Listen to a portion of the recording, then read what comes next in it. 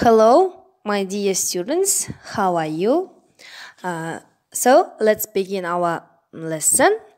Today we have new unit, unit number 8, creativity. And our lesson is culture. The aims of the lesson communication.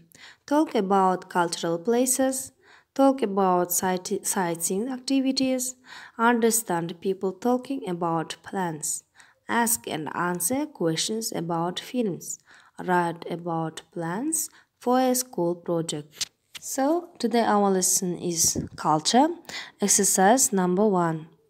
Do the quiz on page 97 about buildings in Astana. Then check your answers.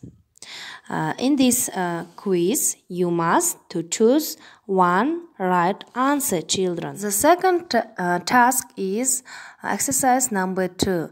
You must match the places 1 and 6 with the things A and F. Mm, for example, library, books.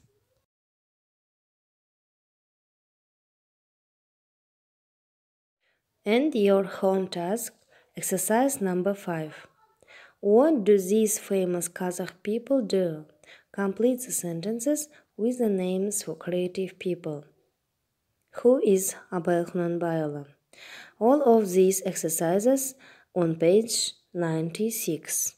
So, good luck, children.